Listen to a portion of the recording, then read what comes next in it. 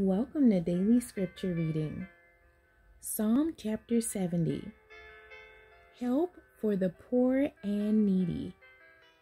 I do not own the rights to this music.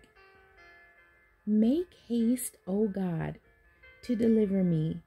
Make haste to help me, O Lord. Let them be ashamed and confounded that seek after my soul. Let them be turned backward and put to confusion that desire my hurt. Let them be turned back for a reward of their shame that say, Aha, aha. Let all those that seek thee rejoice and be glad in thee. And let such as love thy salvation say continually, Let God be magnified. But I am poor and needy Make haste unto me, O God. Thou art my help and my deliverer.